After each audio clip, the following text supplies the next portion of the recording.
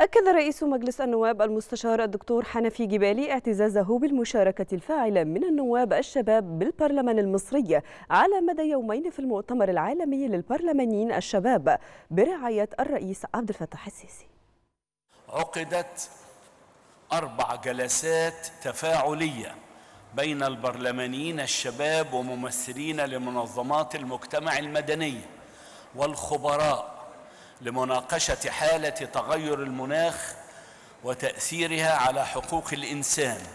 والعمل البرلماني لمكافحة تغير المناخ والشراكة بين المجتمع المدني والبرلمانيين لمكافحة ظاهرة تغير المناخ وهو ما يمثل المرة الأولى التي تعقد فيها دولة مؤتمرا برلمانيا منفصلا قبل أشهر من استضافتها لدورة مؤتمر الدول الأطراف في اتفاقية الأمم المتحدة الإطارية بشأن تغير المناخ. الأمر الذي برهن على إرادة مصرية صادقة لبلورة